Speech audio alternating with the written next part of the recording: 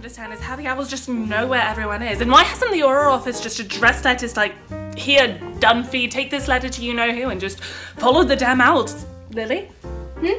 What? What the bloody hell are you doing? No, I was listening to your theory about owl tracking. Are you hiding from Marlene? What? Me? No. Why? Why would I be avoiding my? All right. Yeah.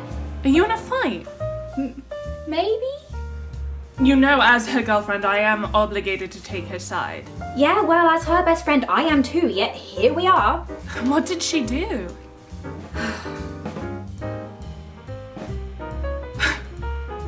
oh my god. I know. Lily Evans, what did you do?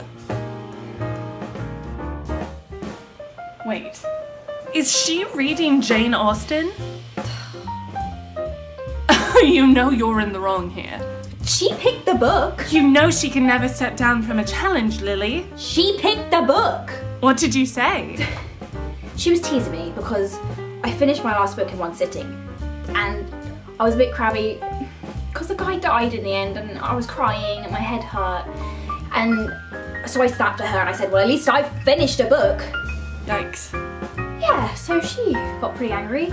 Um, I could read a whole book if I wanted to and I said, fairy tales don't count Marlene and uh, got even more angry and went over to my bookshelf and picked that up and said she'll accept my apology once she's finished reading the book. Until then, don't bother talking to her.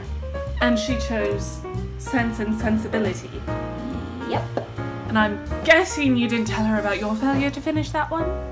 Nope. Done. You finished it. I told you I could. Willoughby's an artist and so is every other man, so at least the book was right about that. You were right. I was, I was wrong. I'm. I'm so sorry. Apology accepted. But you won't mind helping me out with Quidditch practice tomorrow, will ya? Gotta make sure my bathing arm's in good shape. Co- course, yeah. Good.